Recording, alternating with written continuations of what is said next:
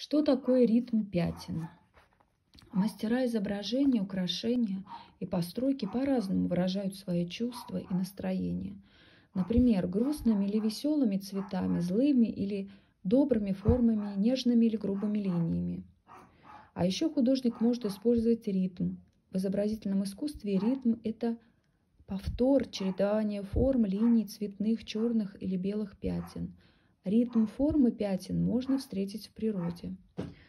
Таким ритмом цветов и листьев художник создал веселое настроение. Цветы как будто танцуют и поют, а листья хлопают в ладоши. Маврина, ландыш, пел, акварель. Маврина – правый берег реки Лутосни, фрагмент тушь перо.